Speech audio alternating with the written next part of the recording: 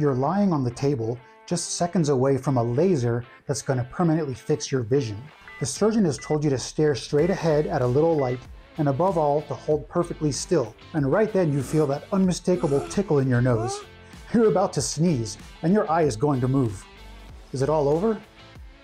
Well, that moment is probably the number one fear that LASIK patients ask about. They worry that a cough, a sneeze, or even just looking away for a split second could ruin the entire surgery. But the truth is, modern LASIK technology has turned this concern into a complete non-issue. So let's break down the incredible technology that keeps you safe if you move. And we'll do it in plain simple language too.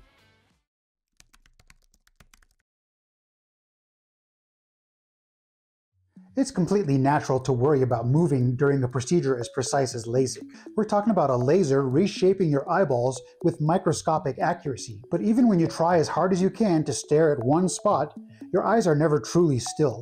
They're constantly making tiny involuntary movements called saccades all day long to help your brain process images as efficiently as possible. So the idea of holding your eye perfectly still is actually impossible. In the early days of LASIK, back in the 1990s, surgeons had to rely almost entirely on the patient's ability to hold still. If you moved your eyes too much, the surgeon had to manually stop the laser and start over. And that's the scenario most people still picture today. But that was 30 years ago. Today, the technology has evolved so much that the responsibility isn't on you anymore. Instead, it's handled by a sophisticated, high-speed guardian that watches your eye with superhuman precision. This system is so advanced that all those tiny natural eye movements don't even matter anymore. Let's explore how it works.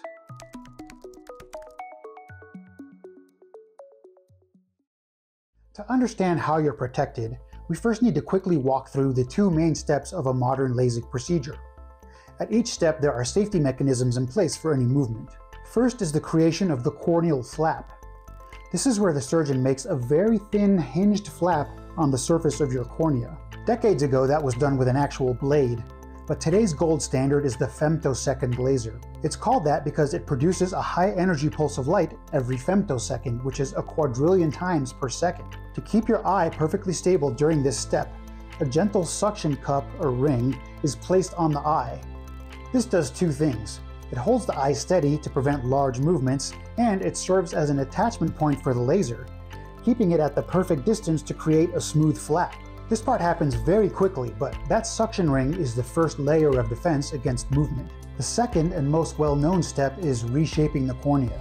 After the flap is gently lifted, a different laser, called an excimer laser, removes a microscopic amount of tissue to correct your vision.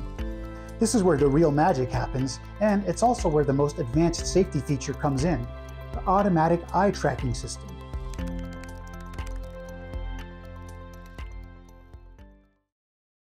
So what is this eye tracker?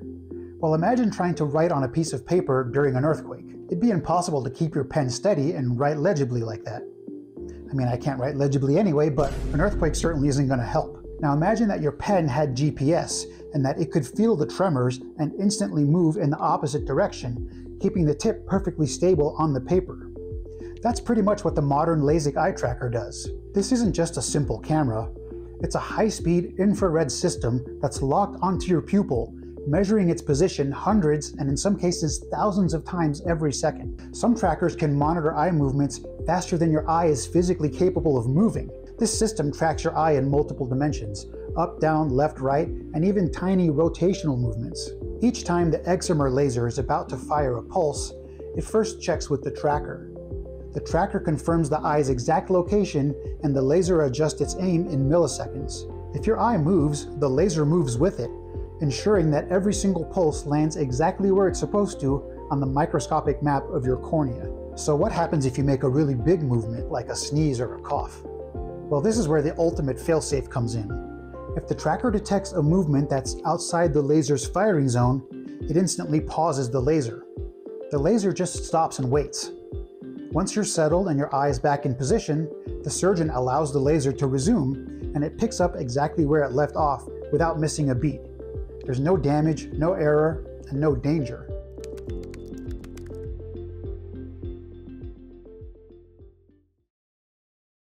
Alright, let's tackle the big three fears head on because the solutions are actually pretty simple. First, blinking. This is a big concern for a lot of patients, but it's actually impossible to blink during LASIK. Before the surgery starts, the surgeon gives you some numbing eye drops. These drops not only make the procedure painless, but also lubricate your eyes, greatly reducing your natural urge to blink. But to make absolutely sure, a small instrument called a lid speculum is used to hold your eyelids open. It might sound uncomfortable, but thanks to the numbing drops, you probably won't even feel it. Second, what about a cough or a jolt? Well, as we discussed earlier, the eye tracker is your safety net. A cough might seem fast to you, but to a system that checks your eye's position over a thousand times a second, it's happening in slow motion. The laser will either adjust in real time or simply stop firing if the movement's too big. And third, the dreaded sneeze. A sneeze is a powerful reflex, and it's fair to think it could overpower the system and its safety mechanisms. But even here, you're completely safe. A sneeze often gives you a little warning, but even if it's a total surprise, the outcome is the same. The tracker will see the sudden large movement and just shut off the laser. The surgeon will wait for the sneeze to pass, make sure everything's okay, and then resume the procedure right where it paused. A sneeze might add a couple of seconds to your surgery, but it won't affect the final result.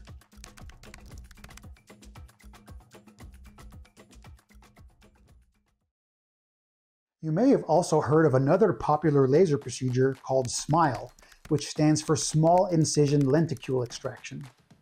SMILE is a little different from LASIK because it doesn't create a flap. Instead, a single femtosecond laser creates a small lens-shaped bit of tissue called a lenticule inside the cornea, which is then removed through a tiny incision. But because there's no flap, SMILE eliminates any flap-related risks, like infection or dislocation of the flap. This is a great advantage for athletes or people in active or dirty jobs. During the SMILE procedure, a suction ring holds the eye stable just like it does in LASIK. However, SMILE has a unique, though pretty rare complication called suction loss, where the suction holding the eye can be lost.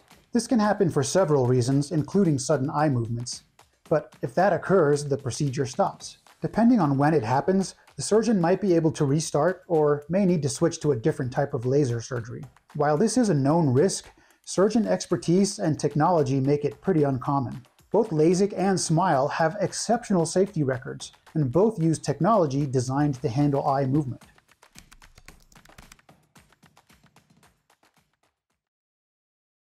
With all this talk of incredible technology, it's easy to forget there's still a highly skilled human in charge of this procedure. Your surgeon and their team are watching the laser, the tracker's feedback, and you literally every second of it. You can think of the technology as an incredible safety net, but the surgeon is the one conducting the orchestra. They can often anticipate a movement, offer a reassuring word to keep you calm, and make the final call to pause or resume the laser.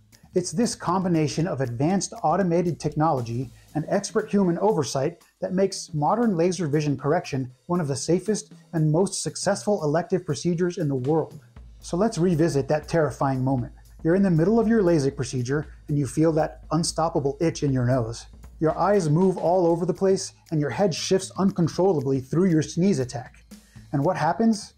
Literally nothing.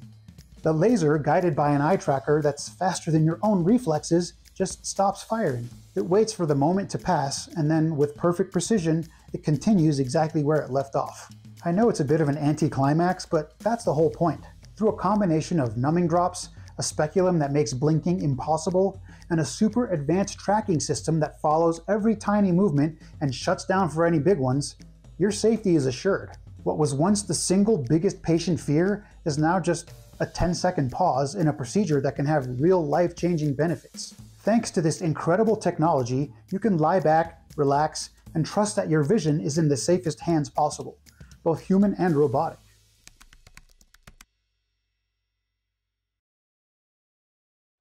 The fear of moving during LASIK is one of the biggest myths about the procedure.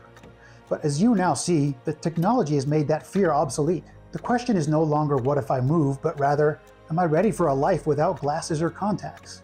If you've been considering LASIK, but this fear has been holding you back, I really hope this has given you the confidence to take the next step. And if you have any questions about how anesthesia or any other surgeries work, let me know in the comments. Thanks for watching, and I'll see you in the next one.